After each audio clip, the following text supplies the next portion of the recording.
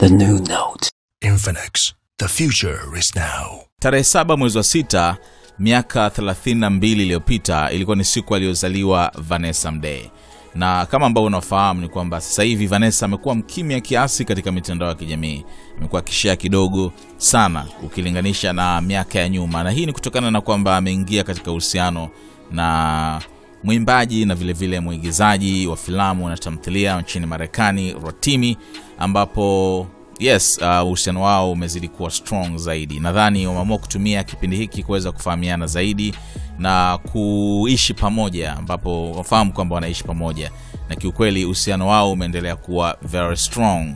Sasa katika siku ya kuzaliwa leo hii akiwa anasherekea miaka yake 32 tangu azaliwe, ameileta tena podcast yake ambayo inaitwa Deep Dive with Vanessa Mdee podcast, kipindi cha, uh, mtandaoni kama radio, lakini kinapatikana katika platform mbalimbali kama uh, Google Podcast ambako mi ndo nimeisikiliza. Uh, alifanya season ya kwanza akapumzika kidogo, lakini sasa hivi amerejea tena na season 2. Kwa hiyo katika season 2 episode ya kwanza ameitoa leo sasa, uh, katika kusherekea siku yake ya kuzaliwa, na amesema kwamba katika season 2 atakuwa muwazi zaidi, atazungumza masuala mengi zaidi yanahusu karia yake, familia, mambo yake binafsi, mahusiano na vitu kama hivyo. Kwa hiyo leo sasa, katika hiyo episode ya kwanza, mgeni wake alikuwa ni mpenzi wake Rotimi. Wamezungumza masuala mengi sana kikweli, ina dakika kama 46 kwa hiyo you can imagine vitu gani ambavyo wamezungumza, lakini episode hii ilikuwa ina theme ya uh, mawasiliano katika mahusiano ma, uh, communication in relationship. Kwa hiyo ameongea kuhusiana na mahusiano wao wenyewe vile vile mahusiano yao yakoje katika upande wa mawasiliano, namna ambavyo wamekuwa wakiwasiliana katika uhusiano wao. Na sasa katika podcast hiyo episode ya kwanza wamezungumza uh, jinsi ambavyo waliweza kukutana kwa mara ya kwanza walikutana kwa mara ya kwanza ilikuwa ni Julai mwanzoni mwanzoni mwaka jana huko katika tamasha la Essence Festival New Orleans, something like that nchini Marekani, ambapo wote walikuwa wamewahi kuperform waliperform katika stage. Uh, kwa hiyo ameeleza kwamba siku iliyofuatia ama jioni yake walikuwa wamealikwa katika party ya hayo maswala ya hiyo Essence Festival. Wote walikuwa wamealikwa katika private party na Vanessa Mdee alienda na vilevile vile Rotimi alienda, lakini yeye anasema hakuwa anajisikia vizuri, balienda tu kama uh, kujilazimisha. Lakini kile ambacho amekisema kipindi ambacho Rotimi ana perform katika hiyo stage, alikuwa na mtu mwingine, alikuwa na msichana ambaye Rotimi amesema hakuwa na mahusiano serious sana kwa hiyo kidogo amecheka, waambie kwamba ulikuwa na mtu fulani. Kwa hiyo Rotimi akasema kwamba yes, alikuwa naye lakini hakuwa serious sana.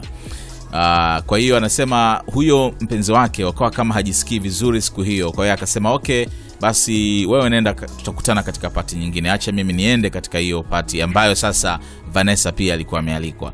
Kwa hiyo akaenda katika hiyo pati na akamwona Vanessa akiwa kwenye pool table sehemu fulani hivi amekaa, akamfata akamwona na akavutiwa naye pale pale, yani Rotimi akavutiwa na Vanessa, wakaanza kuongea na anasema kwamba katika kuongea huko ilikuwa ni rahisi tu kuelewana. Unajua, unakutana na ule mtu kwa mara ya kwanza alafu mna click eh? Yani mnakuwa kama mmesha kukutana siku nyingi, kuna namna maongezi yanakuwa yanaendelea tu kwa sababu mnashare kitu kimoja. Kwa hiyo wakatambulishana pale, wakafahamiana vizuri, lakini Uh, pale pale Vanessa amesema baada ya kuongea na Rotimi akasema kwamba amekutana na binadamu wa tofauti kabisa, yaani akamwelewa pale pale. Kwa hiyo uhusiano wao ndio ukawa vile umeanza, yeah, wakapendana kwa muda mfupi sana, mapenzi yakaanza. Kwa hiyo maana yake ni kwamba kipindi hicho Vanessa of course alikuwa single kwa sababu tayari alikuwa ameshaachana na Jux, lakini kwa upande wa Rotimi yeye alikuwa na mtu ambaye alikuwa serious. Maana yake ni kwamba alimpiga chini, yes kwa sababu hawakuchelewa kuanzisha uhusiano na Vanessa Mdee. Kwa hiyo amezungumza hilo pia, namna ambavyo walipokutana, lakini kingine ambacho ame, wamekizungumzia uh, ni jinsi ambavyo Rotimi aliweza kumbadilisha Vanessa eh, katika tu mazungumzo yao. Uh, Vanessa anasema alikuwa na tabia ya uh, kutojiamini kusema ukweli. Yaani, kwa mfano, unajua hutaki kumwambia mtu ukweli kwamba hii nzuri ama hii ni mbaya. ukiombwa maoni basi utajizungusha ili mradi tu hutaki kumuumiza huyo mtu sasa anasema hiki ni kitu ambacho vanessa alikuwa nacho katika maisha yake kabla ya kukutana na rotimi kwa hiyo rotimi akambadilisha kwamba unatakiwa uwe mtu wa kusema ukweli yani kuwa mkweli yani usiwe mtu wa kus, uh, kusema ukweli nusu. Kama ni kitu ni kizuri sema ni kizuri. Kama ni kibaya sema kibaya. Anasema hicho ndio kitu ambacho kimeweza kumsaidia kwa sababu ya hiyo communication. Lakini pia anasema uh, vanessa alikuwa na kile ambacho rotimi alikizungumzia. Anasema ni, ni mtu ambaye anazungumza vitu vingi kwa wakati mmoja alafu ukitoka pale ajui hata alichoongea ni kitu gani kwa hiyo anasema vanessa hicho ni kitu alikuwa nacho.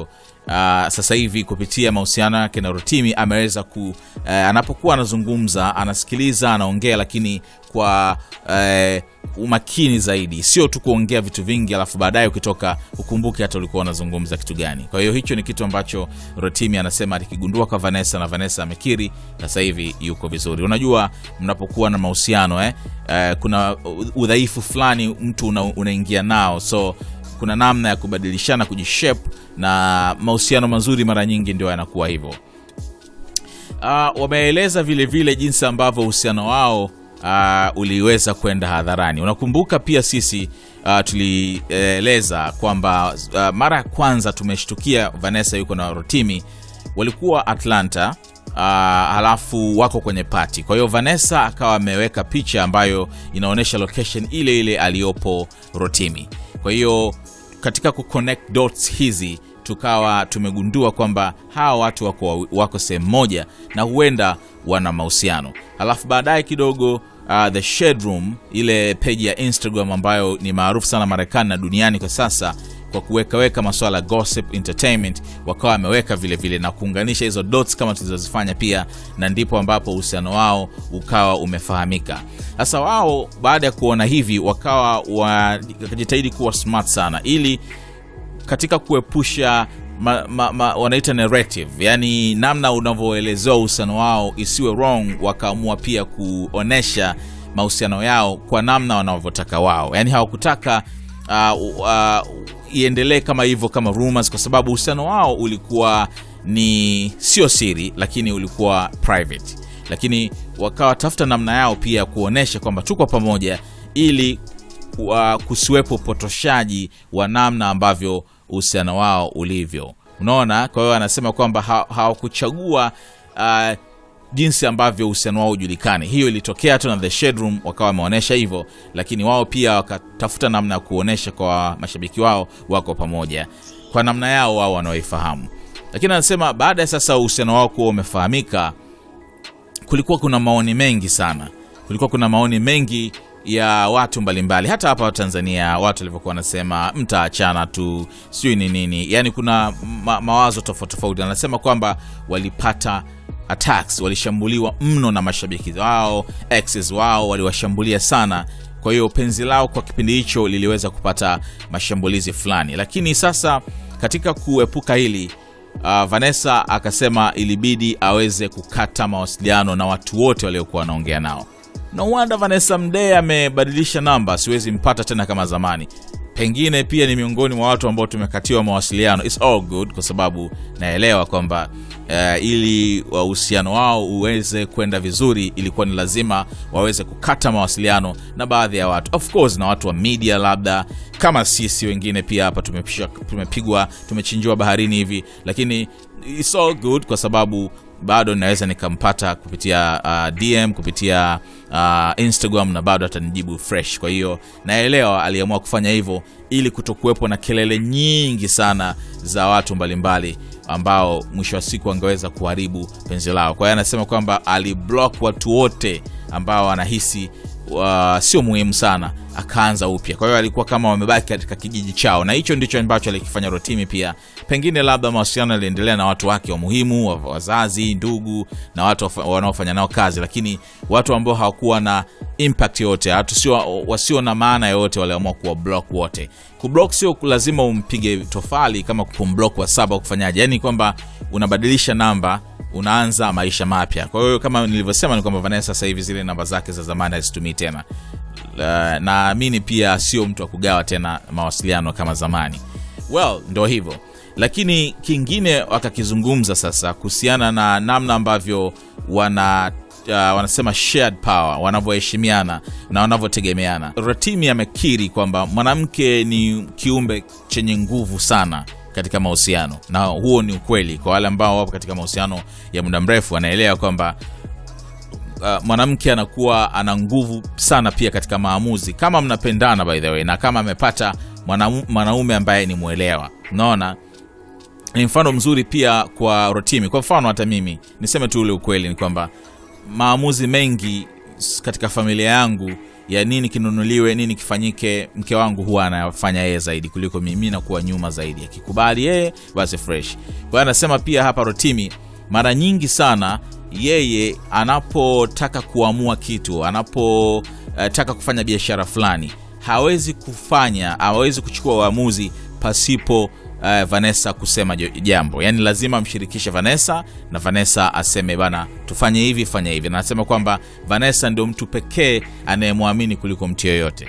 Kwa hiyo ni namna ambavyo mapenzi yao yalivyokuwa. Lakini kwa upande wa vanessa pia wajua kwa mfano watu wameanza walikuwa wanazungumza kwamba vanessa kama vile kaidam karia yake ya muziki na ni kama vile ame concentrate sana katika mahusiano yake ya mapenzi na rotimi na rotimi anaendelea na mambo yake. Lakini anachokisema ni kwamba yeye amegeu, a, yeye ndio shabiki namba moja wa rotimi. Na unaona pia kazi za rotimi vanessa amekuwa akizishia sana na promote sana kazi za mpenzi wake. Lakini anasema kwamba wengine wanamwambia sasa wewe mbona una act kama sio superstar? Mbona una act kama sio mtu maarufu? Mbona kama unajishusha sana kwa huyu bwana wako? Lakini anasema kwamba anachokifanya yeye ni kile ambacho anaamini kwamba kitamfanya mpenzi wake awe na furaha lakini pia yeye awe na furaha. Unaona naelewa naelewa hiyo uh, kwa wale ambao katika uhusiano jinsi ambavyo inabidi ili mahusiano yaweze kusonga mbele hasa kwa watu ambao ni maarufu kama kina rotimi na vanessa ni kwamba wametoa ule usuperstar yaani vanessa akiwa na rotimi hajichukulii kama ni superstar. Anajichukulia kama ni mwanamke ambaye anampenda mpenzi wake. Kwa hiyo ana u, u, huo udhaifu inabidi auweke katika mapenzi. Na sio kuvimbiana kwamba mimi kitu gani mimi si maarufu pia. Kwa hiyo nafanya navyojisikia kwa hiyo hiki ni kitu ambacho vanessa katika hiyo podcast anasema yeye uh, rotimi ndio yeye kwa rotimi ndio shabiki namba moja. Ata, kama, ni, kama, kama ni kwenye show basi atakuwa na snap atakuwa na record video atakuwa na tweet kumpongeza mpenzi wake kwa sababu ni number one fan. Na ameeleza jinsi ambavyo walivyokutana na mama yake rotimi na kile ambacho rotimi aliwaambia kama kapo wiki ya kwanza tu baada ya kukutana akawambia i want both of you to have teachable spirits. Kwamba wawe na uh, nafsi zinazofundishika. Kwa maana ya kwamba kuna kitu ambacho vanessa anamfundisha rotimi na kuna vitu ambavyo rotimi anamfundisha vanessa. Na kiukweli yeye vanessa amekiri kwamba amejifunza mengi zaidi kuliko hata rotimi alivyojifunza kwa vanessa kwa sababu yeye ametoka katika ulimwengu tofauti na amemkuta rotimi ni mwanaume anayejielewa sana. Kwa hiyo ameweza kumchange kwa vitu vingi sana. Na kiukweli Uh, kama umeona hata ile video tumeweka hapa waona jinsi ambavyo wanapendana na jinsi ambavyo wanaheshimiana unaona eh?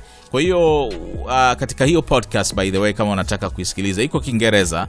Uh, kwa wale ambao wanaweza kuelewa walichokizungumza ni podcast nzuri sana wako open wamefunguka vitu vingi sana vitabu ambavyo wamesoma na vyenye kufundisha swala hili la mawasiliano katika uhusiano.